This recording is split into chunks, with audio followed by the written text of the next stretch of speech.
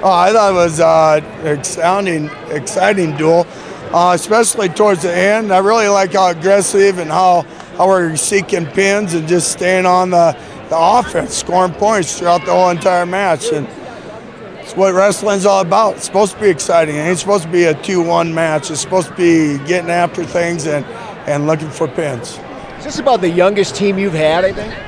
Oh, we're fairly young. Yeah, we definitely got some, but we have some guys that have been paying their dues through the kids wrestling and going to off-season stuff during the summer. So hey, they're they they're they're rewarding of this, and obviously it's starting to pay off. You know, Meeks had a very tough draw with uh, Ridge, who's the defending state champion, but I think Meeks has a, a big upside, doesn't he? Yeah, we beat him at Powell. So I mean, and he he wanted, I'm sure he wanted a little revenge on him. So the thing is that you know, it is what it is. Meek's really actually wrestling a weight class below. So, I mean, he'll be at 140 tomorrow. So, I mean, that's what some of our guys are doing.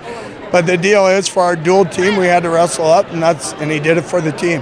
Tell us about your 106 guy. He's got a lot of energy. He's got a lot of energy. He's a he's a firecracker for sure.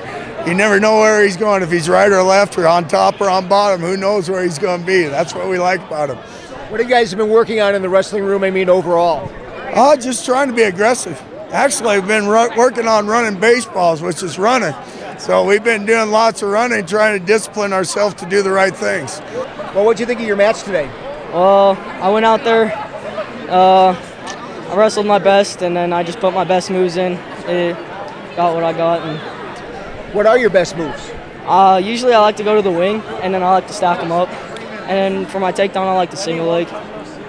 You seem like you have a lot of energy to while you wrestle. Do you like like being energetic like that and moving around? Yep, I'm always energetic. And what did you do over the over the off season to get better? I wrestled almost every day, almost about at least three times a week. And how did you get started wrestling? What's that? How did you get started wrestling? Uh, I was super young, and my dad just put me in, and I, I guess I just started to like it afterwards. And what do you need to get better at? What have you been working on? Uh, I've just been working on bottom a lot. I'm not very good on bottom, so I can work on that a little.